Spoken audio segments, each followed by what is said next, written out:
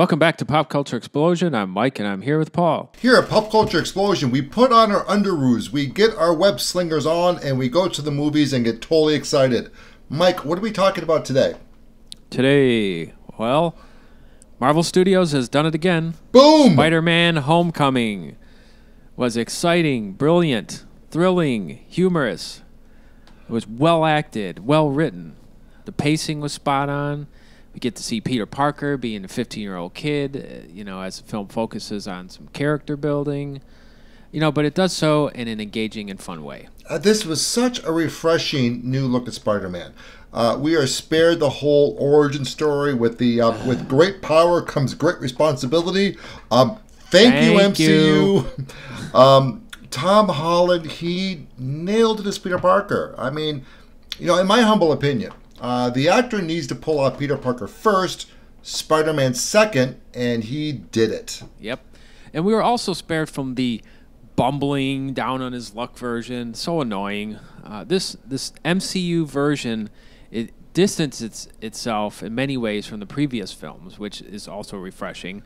And it addresses some fun situations. You know, for example, it shows what happens when you don't have tall buildings to swing between. that was awesome. Yeah. Uh, you know, this film does go out of its way to include diversity, and it does change around some of the original characters. Uh, you know, Mike, you raise a great point. Uh, I, I have to say, they hit us over the head with diversity. Uh, they changed up two major characters that did not need to be changed.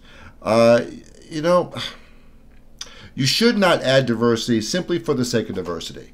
Um, like I said, they took two major iconic characters from the Spider Man comics and they completely changed them for no reason except for the sake of diversity. Not, not only. It didn't add any value. Uh, and, and in my humble opinion, as a comic purist, it kind of took away a little bit. Well, I agree that the comic book purists would likely have some grievances with the choices for the actors in in the, in the film. It really didn't bother me.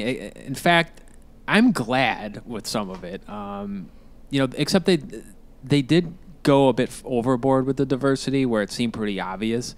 Uh, it's like, hey, let's include every single race and make sure there's an LGBTQ character, you know, et cetera, whatever.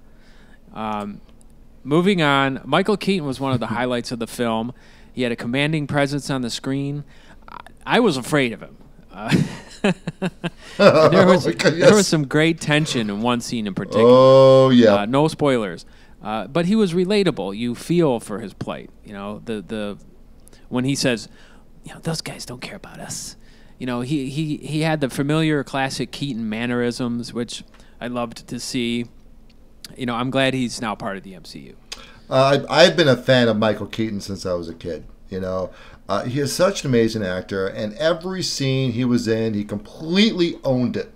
Uh, his character was fierce, uh, but at his core, his only motivation was his family uh, and his honor, and he displayed uh, all those traits. Uh, even at the very end of the movie. And by the way, you need to stay through the credits for a particular scene, which I'm referring to. Well, and I also think that the fact that Tony Stark is in the film it just seals the deal, you know, and it's and it cements it as the an official MCU film. Uh, the MCU just got a lot bigger, uh, and Marvel has another amazing character to build future movies on. Uh, so, so, Mike, w- with all that being said, what are your final thoughts? Final thoughts. This was a rip roaring, fun movie to watch. I look forward to seeing it again. You know, we have a couple of sequences in particular that were so intense and action packed.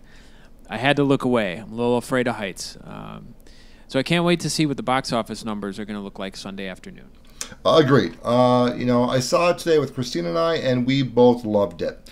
Uh, there were actually moments when her face was buried in my arm because she was so stressed out, and there were other moments that we could we were just dying laughing. Uh, so yeah, it, it was awesome. So so Mike, with with that being said, how would you rate this on a one to ten scale? I give Spider Man Homecoming a 9.5. Uh, you know what? You and me both. I will give this a solid 9.5. Uh, so, so everyone watching this, what, what do you think? If, if you've seen the movie already, do you, do you agree with this review? Uh, if you haven't seen the movie yet, does this help you on whether or not you want to see this movie? Uh, please, uh, if you like this video, give us a thumb up, thumbs up. If you did not like this review, give us a thumb down. I'm okay with that. Uh, and of course, we want to continue the conversation below, so give us your thoughts in the comment sections. And if you do any of those things, you will have your own web shooters hand delivered at your doorstep tomorrow before 10 a.m. So, with that being said, Mike, Peace out.